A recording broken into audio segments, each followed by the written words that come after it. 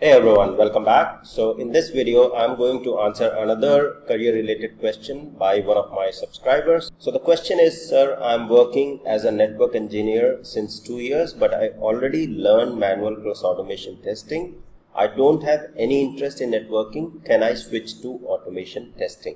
Now, very nice and fantastic question, I would say, because this has a couple of points that I always wanted to cover whenever I want to put my views in terms of career aspirations and your interest. So the first thing that I want to mention here is the person has been employed into a network engineering field for two years, two years experience into that field.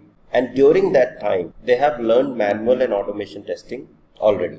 The other important point is that you do not have interest in networking. Can I switch to automation testing? Now, the first thing is that yes, I totally understand that at this initial career phase, there are many doubts in terms of choosing the career field that you are looking for. So maybe network engineering field you would have got because you gave interview and you got selected and you started just to go ahead and get started with that particular job. But because that is not your interest and it's absolute valid point to switch to a field which interests you. The reason I am telling you because if you keep working in the field that you are not loving or you do not want to go ahead and pursue it in a long term, then the work that you do day in, day out in that particular field will fade after a couple of years. You will stop learning you will lose interest into that particular field and eventually after some time maybe 2 years 4 years 5 years 10 years you will lose altogether interest into that particular field and you would want to move or do something else.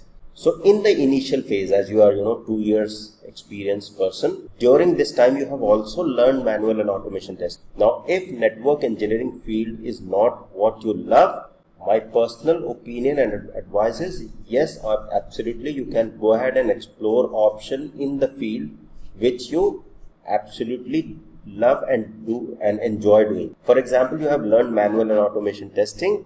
Go ahead create the profile create your do do some automation work on the test website or production website that you see uh, that are available publicly and have your GitHub account to showcase your automation work in your resume.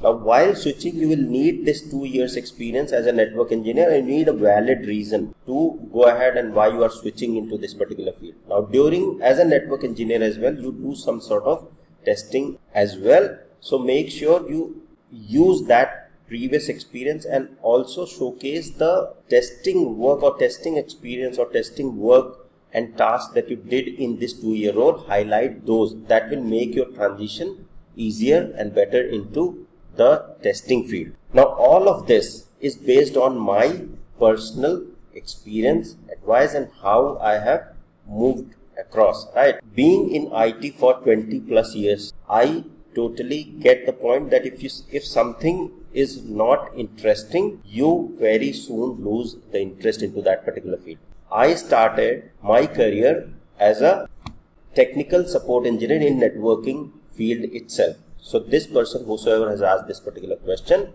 is very relevant or very close to where I started my career. Now, since I started into that field, I was in kind of a similar situation and at a similar time I transitioned or I started learning the testing because I found that more interesting and moved from there. Now, during that network engineering role, which was at the Linksys Cisco division, I also did some testing, so which I showcased into my resume after learning or doing ISTQB certification, learning testing, uh, and little bit of you know automation. I showcased that previous experience to transition into the full-time testing role, and from then I have always been into testing and automation, and I find it very good that I took that decision when I was in the early phase of my career. So this is this is my own journey and if there is something that interests you more, I will absolutely suggest that you pursue that particular interest but make sure depending on your current situation, you take decisions accordingly. I don't know what your personal situation is currently, what your professional situation is currently, what your financial situation is current, currently. So make an informed decision from what I have said. This is not a foolproof yes and no and go ahead and do it sort of advice.